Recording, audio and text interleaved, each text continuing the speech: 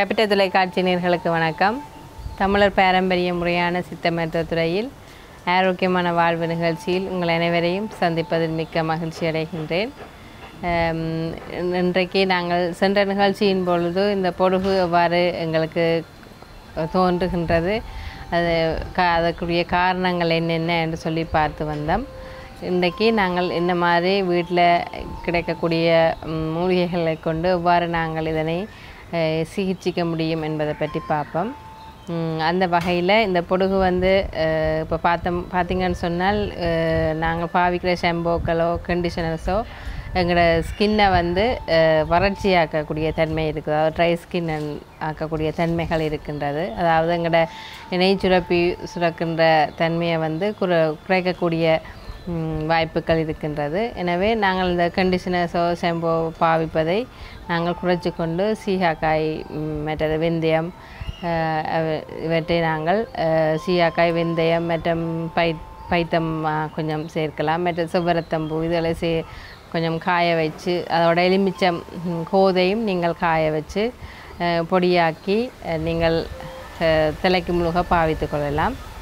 அப்படி இல்லை நீங்கள் செம்பு தான் பாவிக்க வேணும்னு சொல்லி சொன்னால் உங்களுக்கு அதற்குரிய மாதிரி உங்களோட நீங்கள் தலைக்கு முழுகும் பொழுது தெரியும் எது எதற்கு உங்களுக்கு ஒவ்வாமை ஏற்படுகின்றது இதனை எதற்கு பிரச்சனை இல்லாமல் இருக்கிறது என்று உங்கள் நீங்கள் விளங்கிக் கொள்ள முடியும். அதனை கருத்தில் கொண்டு அத்துடன் நாங்கள் கூறுகின்ற முறைகளையும் நீங்கள் பாவித்து வந்தீர்கள் சொன்னால் இந்த பொடுகு தொல்லையிலிருந்து நீங்கள் நிவாரணம் பெ பெற்றுக்கொள்ள முடியும். முதலாவது வந்து நீங்கள் உங்களோட ஆயில் பேலன்ஸ் அதாவது நெய்ச்சுரப்பினுடைய சமநிலைக்காக நீங்கள் வந்து எண்ணெய் குளியல் கட்டாயம் செய்ய வேண்டும். வாரத்துக்கு இரு தடைய இரு தடவையாவது நன்றாக எண்ணெய் வைத்து நீங்கள் முழுக வேண்டும். அதனை தவிர நான் நான் சில மூலிகைகள் கூறுகின்றேன். அதனை நீங்கள் எண்ணெயாக தயாரித்து நீங்கள் வைத்து தலைக்கு வைத்து கொள்ள முடியும். இதில் பொடுதலை என்று கூறுவார்கள். அதாவது பொடு பொடுகுக்காகவே ஸ்பெஷலாக காணப்படுகின்ற மூலிகை. பொடுதலை சாறு மற்றது வெள்ளேரை இலைச்சாறு மற்றது மருதோண்டி இலைச்சாறு. இந்த மூன்றையும் சம அளவெடுத்து நீங்கள் சாராக எடுத்துக்கொள்ள வேண்டும். இப்போ ஒரு போத்தல் தேங்காய் எண்ணெயில் காய்ச்ச போகிறீங்கன்னு சொன்னால் ஒரு போத்தல் இலைச்சாறு எடுக்க வேண்டும். எடுத்து விட்டு ஒரு போத்தல் அப்படியே நீங்கள் ஒரு வானொலியிலையோ தாச்சியில் வச்சு காய்ச்சிக்கல அந்த சாறு வந்து இப்போ ஒரு போத்தல் சாறு விட்டிங்கன்னா அது அரைவாசியாக வந்து குறைய வேண்டும். வத்து மட்டும் காய்ச்சிட்டு பிறகு நீங்கள் எண்ணெயும் விட்டு நன்றாக காய்ச்சிய பின்னர் நீங்கள் ஒரு வெத்திலையை போட்டிங்கன்னு சொன்னால் அந்த வெத்திலை வடிக்கணும். அதான் அந்த எண்ணெயுடைய பதம். அவ்வாறு செய்தீங்கன்னு சொன்னால் அந்த உங்களுக்கு இந்த எண்ணெய் கிடைக்கப்புறம். இந்த எண்ணெயை நீங்கள் க சாதாரணமாக ஒரு நாளும் வைத்து கொண்டு வரலாம். அப்படி செய்வதன் மூலம் இந்த பொடுகு வந்து குறை குறைக்கும்.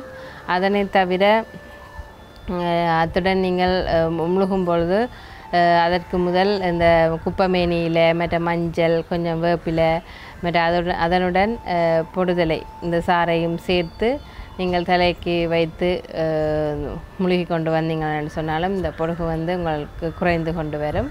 அதே போன்று இப்போ வேப்பம்பட்டை இருக்கின்றது தானே அதனுடைய கஷாயம் அதை வேப்பம்பட்டையை கஷாயமாக காய்ச்சி அதனுடைய அந்த கஷாயத்தையும் நீங்கள் உங்கள் நீங்கள் முழுக முதல் தலைக்கு வச்சு முழுகலாம். அதே போல் இப்போ நான் கூறியிருந்தேன் பிம்பிள்ஸுக்கும் டேண்ட்ரஃபுக்கும் தொடர்பு இருக்குன்னு சொல்லி.